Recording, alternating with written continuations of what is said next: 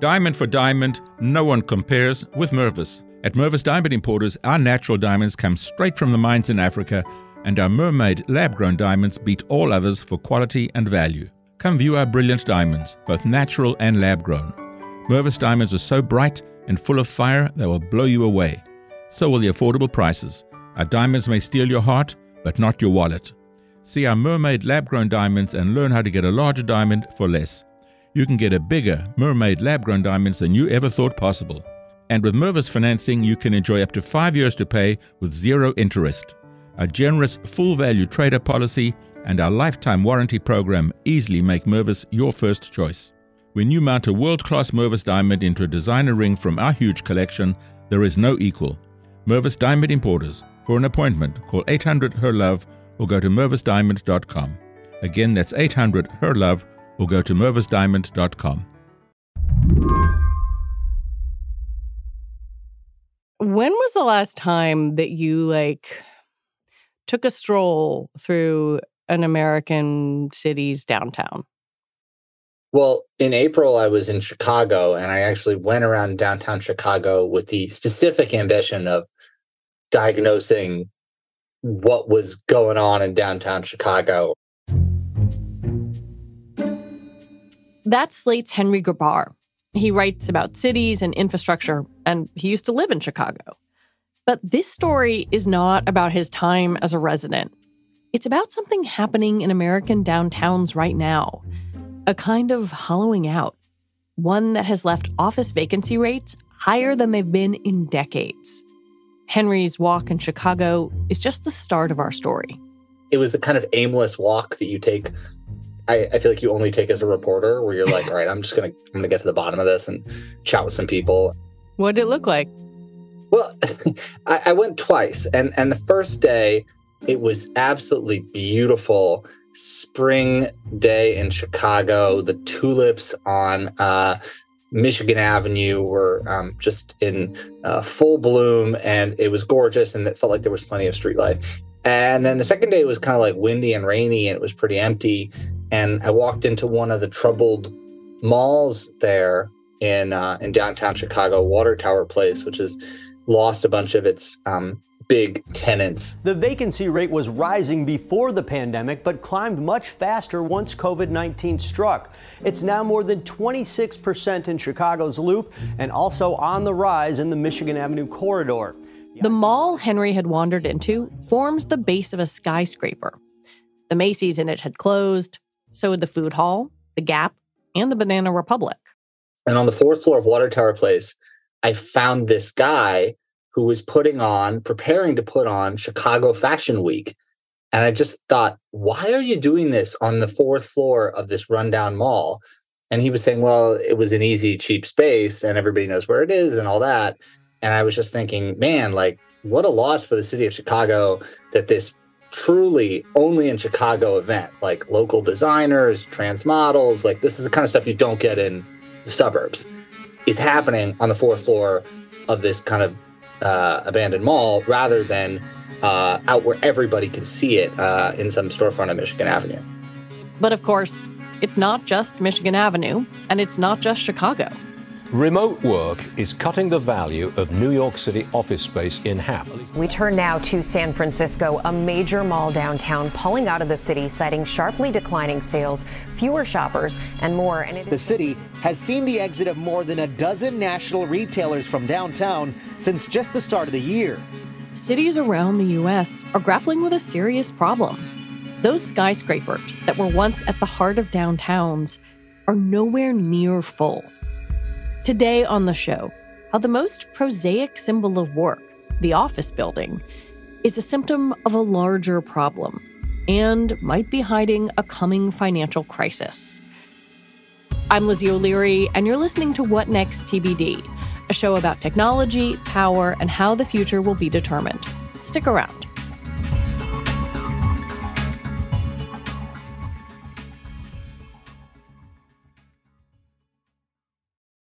This podcast is brought to you by Progressive Insurance.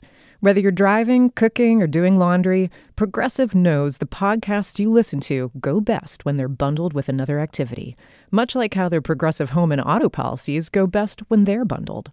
Having these two policies together makes taking care of your insurance easier and could help you save too. Customers who save by switching their home and car insurance to Progressive save nearly $800 on average. That's a whole lot of savings and protection for your favorite podcast listening activities, like going on a road trip cooking dinner, and even hitting the gym. Yep, your home and your car are even easier to protect when you bundle your insurance together. Find your perfect combo. Get a home and car insurance quote at progressive.com today. Progressive Casualty Insurance Company and Affiliates. National average 12 month savings of $793 by new customers surveyed who saved with Progressive between June 2021 and May 2022. Potential savings will vary. This episode is brought to you by Google. Cyber attacks on critical infrastructure threaten essential services. That's why public institutions like schools, hospitals, and government agencies across the country are partnering with Google to keep their data safe and secure. Because when organizations run on Google Cloud, they're defended by the same AI powered security that protects all of Google. Explore how Google is keeping more Americans safe online. Visit safety.google forward slash cybersecurity today.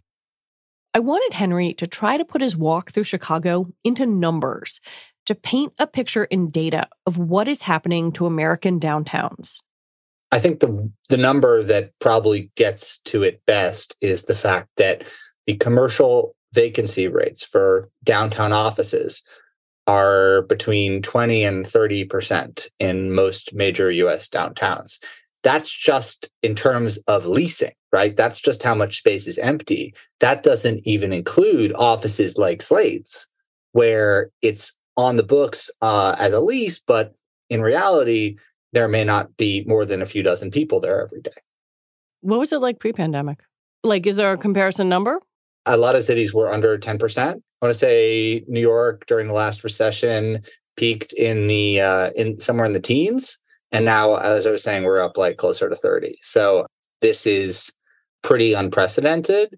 And it's led, obviously, to a whole host of uh, knock on effects in the related economy, which is to say, uh, first and foremost, the businesses that work with the office workers, so downtown lunch spots, shoe repair, fancy restaurants where people go on client meetings, all that stuff is is suffering.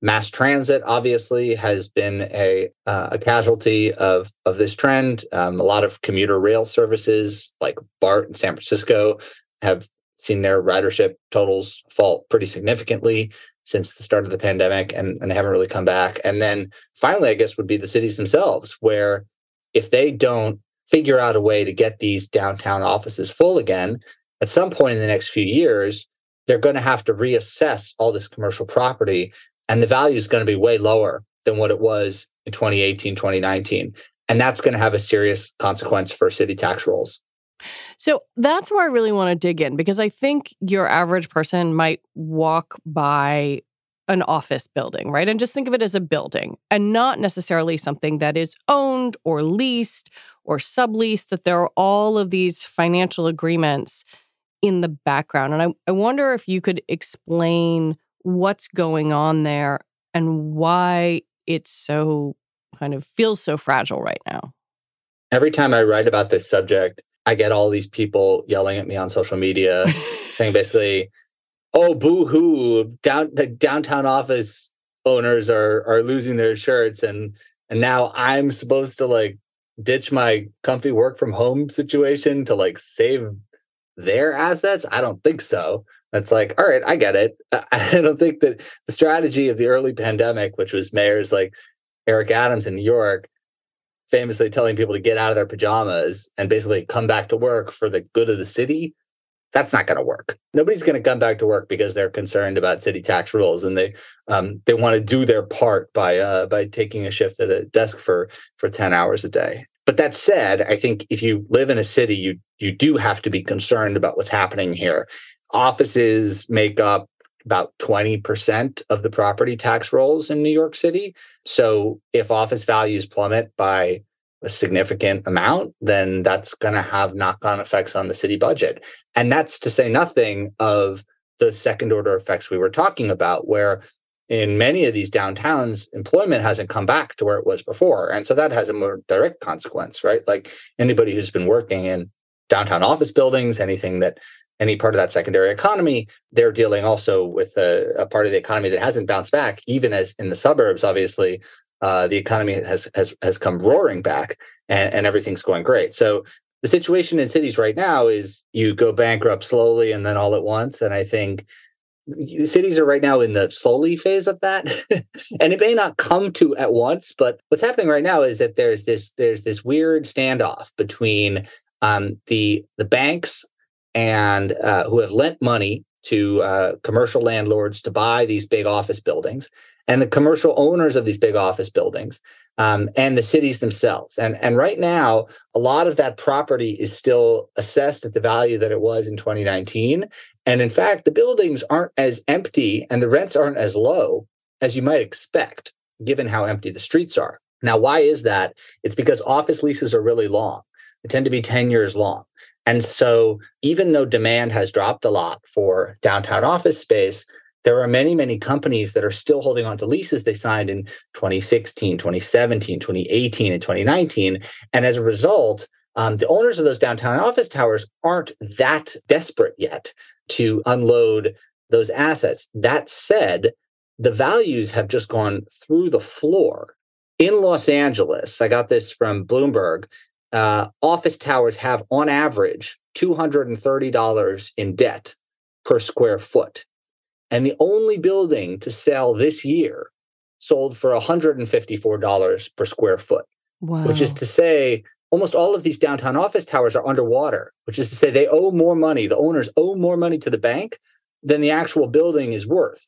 And so that creates a situation where owners, you know, they're going to stick around, but at a certain point, if the bank says, you know, we need more money from you, they're just going to walk away. And that's what's happening.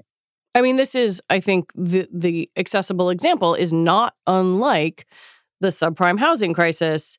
If you, you know, had an interest rate on your home that reset, and suddenly you owed a whole lot more than your home was worth, people were willing to walk. Why is this different? Like, are are commercial owners less likely to walk away and just say, "Here, bank, you own this skyscraper now"? I'm glad you mentioned interest rates, Lizzie, because that is one thing that is happening now um, that is exacerbating the question of uh, downtown's viability. Because a lot of these places, um, they have loans on them, and if they want to refinance their loans, suddenly they're looking at these much higher interest rates, and and that is true also of selling the buildings, right? If they want to find a new buyer, the real cost for the new buyer um, is exacerbated by by the high cost of interest rates. Um, but to get to your question, what makes this different from from last time, and what makes commercial owners different from residential owners?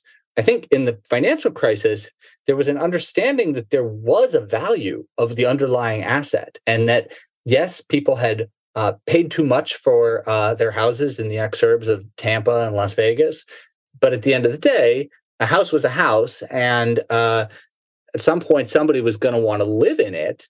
And even though the owners couldn't afford to keep up with their um, adjustable rate mortgages, when the banks took those houses over and put them up for auction, they all got swooped up by these savvy Wall Street investors who assembled these portfolio of houses that they were pretty soon able to turn into profitable rental assets.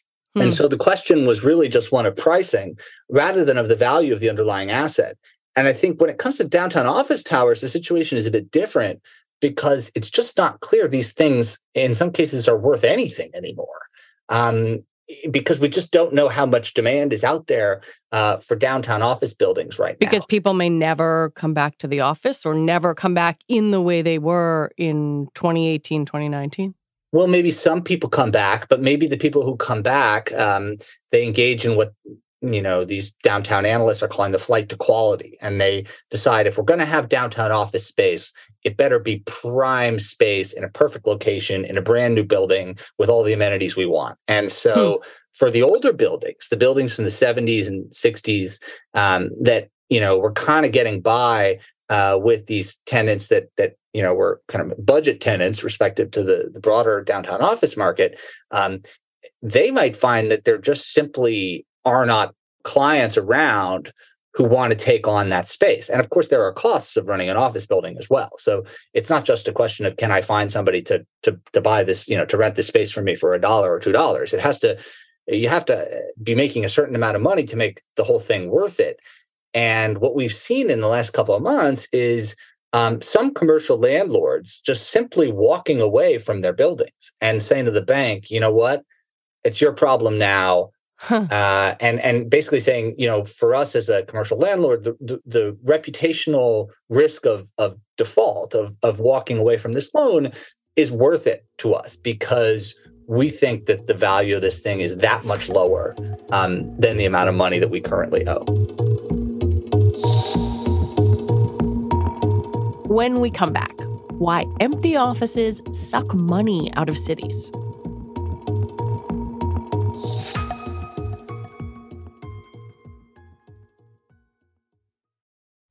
Diamond for diamond, no one compares with Mervis. At Mervis Diamond Importers, our natural diamonds come straight from the mines in Africa, and our mermaid lab grown diamonds beat all others for quality and value. Come view our brilliant diamonds, both natural and lab grown. Mervis diamonds are so bright and full of fire they will blow you away. So will the affordable prices. Our diamonds may steal your heart, but not your wallet. See our mermaid lab grown diamonds and learn how to get a larger diamond for less you can get a bigger mermaid lab grown diamonds than you ever thought possible. And with Mervis financing, you can enjoy up to five years to pay with zero interest. A generous full value trader policy and our lifetime warranty program easily make Mervis your first choice. When you mount a world class Mervis diamond into a designer ring from our huge collection, there is no equal. Mervis Diamond Importers. For an appointment, call 800 HER LOVE or go to mervisdiamond.com. Again, that's 800 HER LOVE or go to mervisdiamond.com. Diamond for diamond, no one compares with Mervis. At Mervis Diamond Importers, our natural diamonds come straight from the mines in Africa, and our mermaid lab grown diamonds beat all others for quality and value. Come view our brilliant diamonds, both natural and lab grown. Mervis diamonds are so bright and full of fire they will blow you away. So will the affordable prices. Our diamonds may steal your heart, but not your wallet. See our mermaid lab grown diamonds and learn how to get a larger diamond for less. You can get a bigger mermaid lab grown diamonds than you ever thought possible. And with Mervis financing, you can enjoy up to five years to pay with zero interest. A generous full value trader policy and our lifetime warranty program easily make Mervis your first choice. When you mount a world class Mervis diamond into a designer ring from our huge collection, there is no equal. Mervis Diamond Importers. For an appointment, call 800 HER LOVE or go to mervisdiamond.com. Again, that's 800 HER LOVE or go to mervisdiamond.com. Diamond for diamond, no one compares with Mervis. At Mervis Diamond Importers, our natural diamonds come straight from the mines in Africa, and our mermaid lab grown diamonds beat all others for quality and value. Come view our brilliant diamonds, both natural and lab grown. Mervis diamonds are so bright and full of fire they will blow you away. So will the affordable prices. Our diamonds may steal your heart, but not your wallet. See our mermaid lab grown diamonds and learn how to get a larger diamond for less. You can get a bigger mermaid lab grown diamonds than you ever thought possible. And with Mervis financing, you can enjoy up to five years to pay with zero interest. A generous full value trader policy and our lifetime warranty program easily make Mervis your first choice. When you mount a world class Mervis diamond into a designer ring from our huge collection, there is no equal. Mervis Diamond Importers. For an appointment, call 800 HER LOVE or go to mervisdiamond.com. Again, that's 800 HER LOVE or go to mervisdiamond.com. There is a scenario where these empty offices lead to a cascade of negative consequences for cities and the people who live in them. It's something called the doom loop, a term coined by NYU professor Arpit Gupta. His argument is basically that as the uh, value of these commercial assets in big downtowns declines, it's going to have an effect on city tax rules. First, through uh, declining property tax revenues, but also because of declining um, sales tax revenues from all the associated business that that that's tied into that downtown economy. And as that city revenue declines, the city is in turn going to cut back on services like policing, hmm. like mass transit, like trash pickup. And, and as those services get cut, downtown will become still a less attractive place to do business.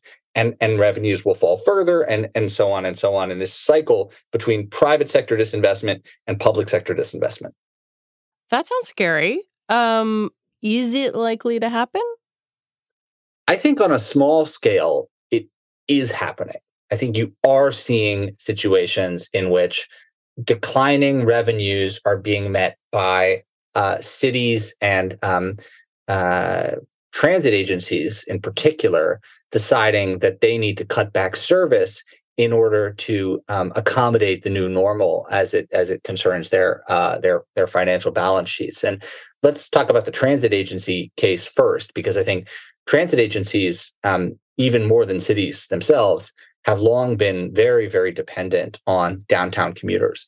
Yeah. And as downtown dries up, transit agencies find themselves having lost, in many cases, their most reliable and most lucrative ridership, paying those peak fares and piling in five days a week.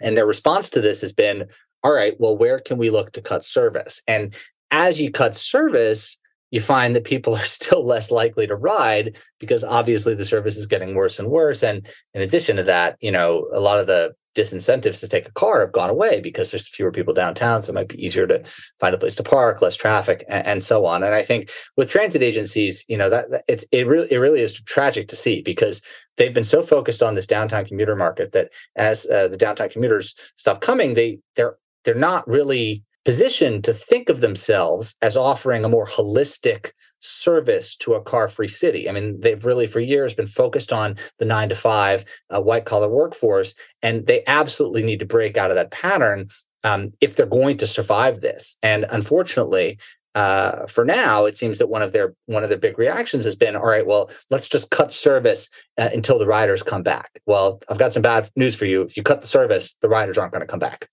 You know, listening to you describe all of these things and reading your work on it, it, it made me wonder if this is a uniquely American phenomenon, sort of central to the way the US builds or has built cities, right? You have these downtowns that are hubs of commercial activity and then a lot of suburban bedroom communities.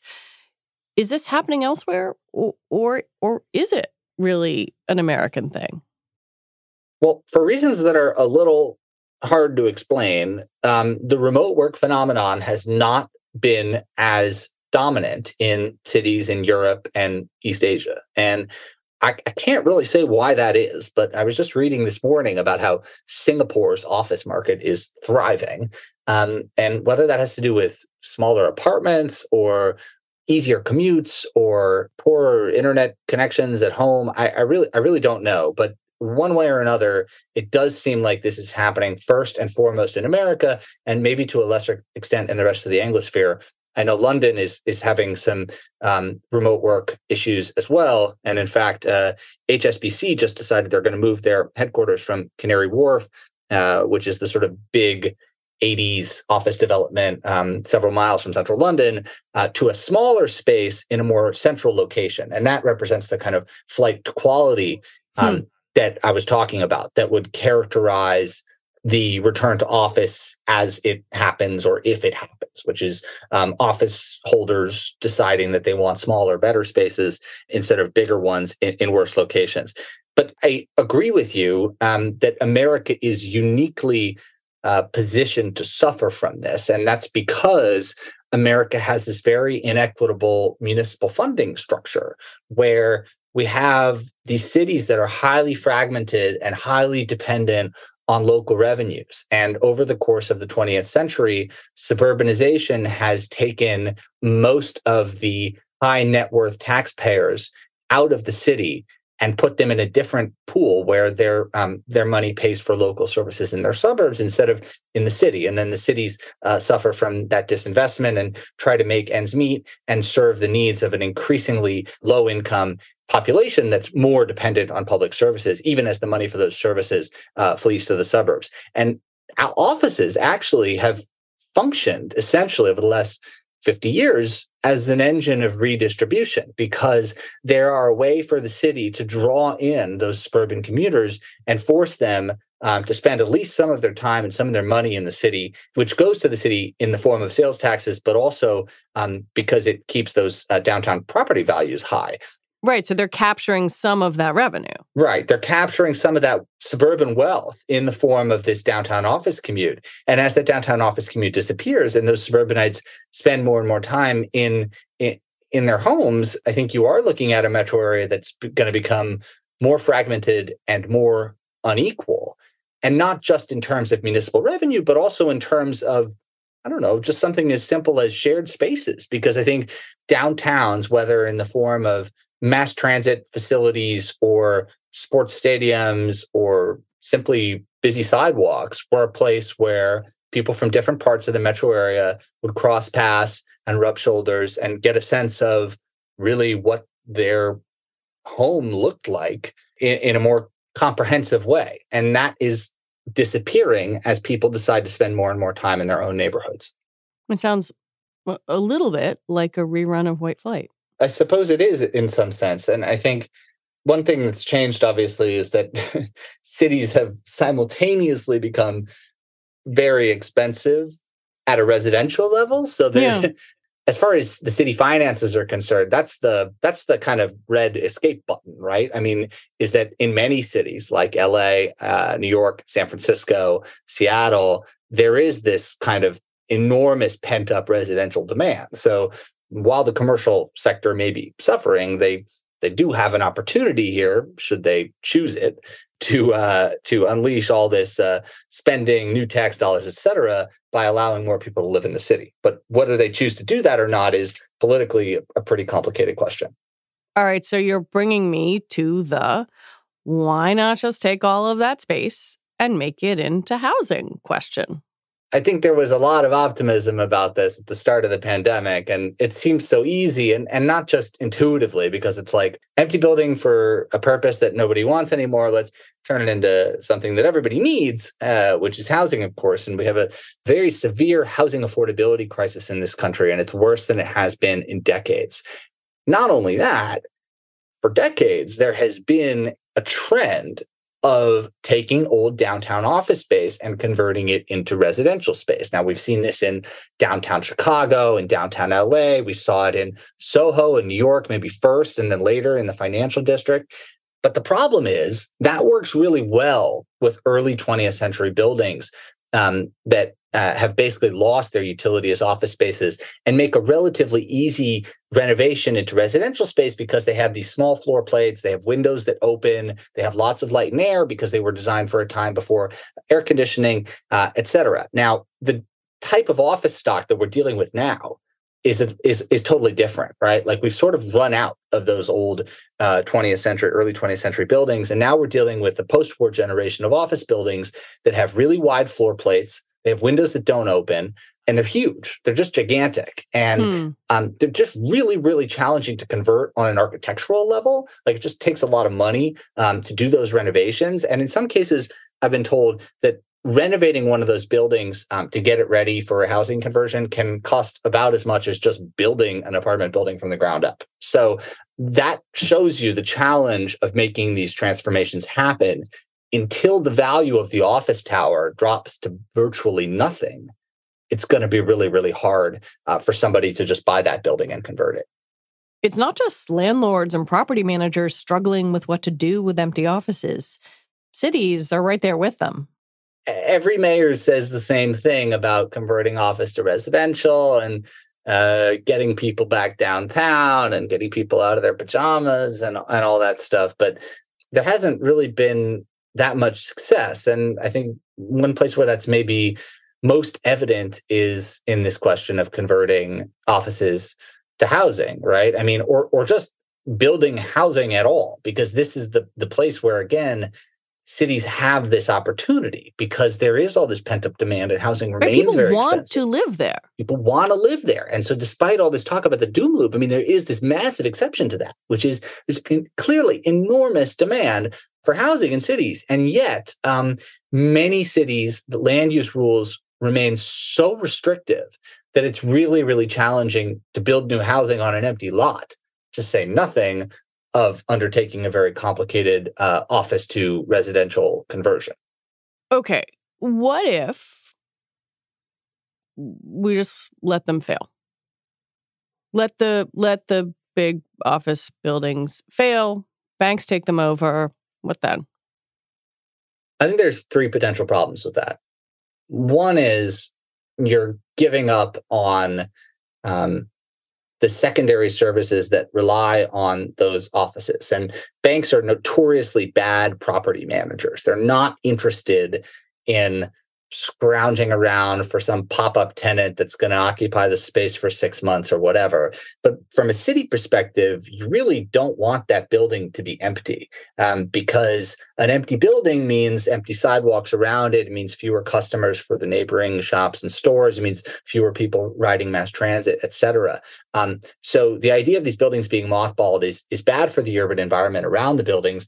It's also bad um, for city tax rolls because if the value of the building um, gets reassessed based on the fact that nobody thinks it's worth anything, um, then that's going to reduce its tax burden. And in the case of the city, it's not a burden at all. It's actually a, a very important source of revenue that they'll be losing. And then the third thing, perhaps, is that local and regional banks will be in trouble if hmm. they have to uh, assume all these losses on their commercial real estate portfolios.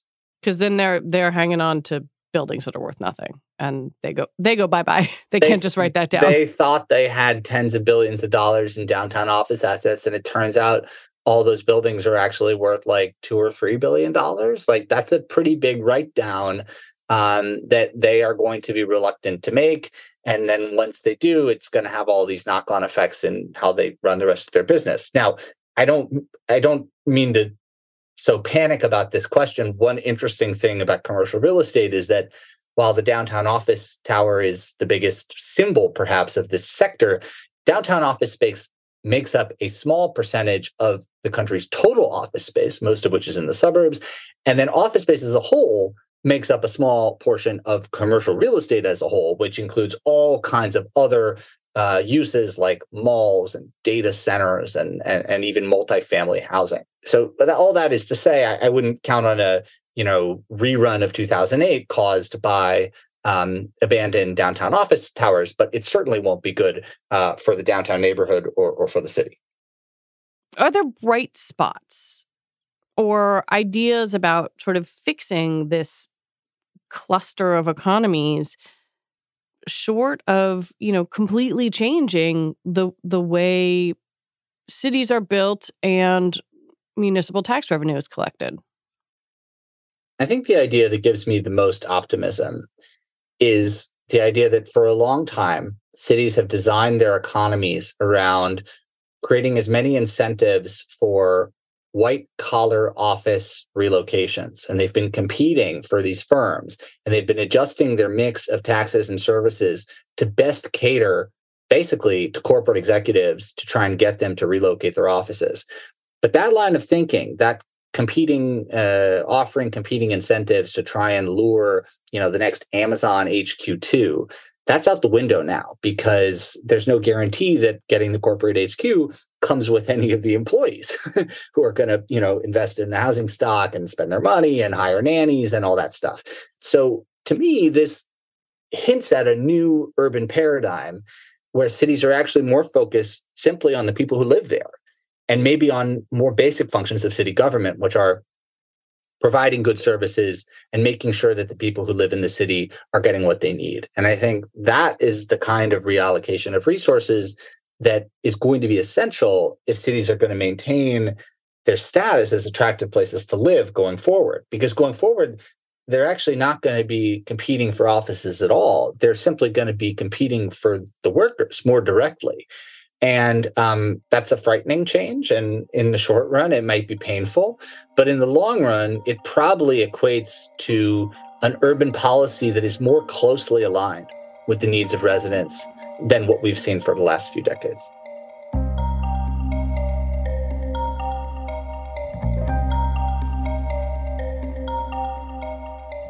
Henry Grabar, thank you so much for coming on and talking with me. Thanks for having me. Henry Grabar covers cities, architecture, and the environment for Slate.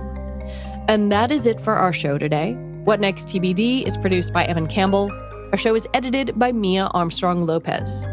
Alicia Montgomery is Vice President of Audio for Slate. TBD is part of the larger What Next family.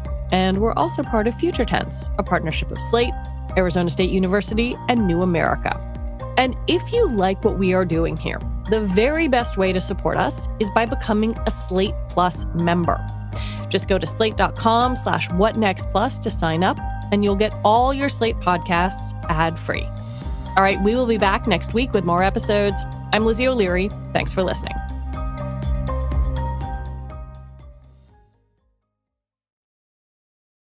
Diamond for diamond, no one compares with Mervis. At Mervis Diamond Importers, our natural diamonds come straight from the mines in Africa, and our mermaid lab grown diamonds beat all others for quality and value. Come view our brilliant diamonds, both natural and lab grown. Mervis diamonds are so bright and full of fire they will blow you away. So will the affordable prices. Our diamonds may steal your heart, but not your wallet. See our mermaid lab grown diamonds and learn how to get a larger diamond for less. You can get a bigger mermaid lab grown diamonds than you ever thought possible. And with Mervis financing, you can enjoy up to five years to pay with zero interest. Our generous full value trader policy and our lifetime warranty program easily make Mervis your first choice. When you mount a world class Mervis diamond into a designer ring from our huge collection, there is no equal. Mervis Diamond Importers. For an appointment, call 800 HER LOVE or go to mervisdiamond.com. Again, that's 800 HER LOVE or go to mervisdiamond.com. Diamond for diamond, no one compares with Mervis. At Mervis Diamond Importers, our natural diamonds come straight from the mines in Africa, and our mermaid lab grown diamonds beat all others for quality and value. Come view our brilliant diamonds, both natural and lab grown. Mervis diamonds are so bright and full of fire they will blow you away. So will the affordable prices. Our diamonds may steal your heart, but not your wallet. See our mermaid lab grown diamonds and learn how to get a larger diamond for less. You can get a bigger mermaid lab grown diamonds than you ever thought possible. And with Mervis financing, you can enjoy up to five years to pay with zero interest. Our generous full value trader policy and our lifetime warranty program easily make Mervis your first choice. When you mount a world class Mervis diamond into a designer ring from our huge collection, there is no equal. Mervis Diamond Importers. For an appointment, call 800 HER LOVE or go to mervisdiamond.com. Again, that's 800 HER LOVE or go to mervisdiamond.com.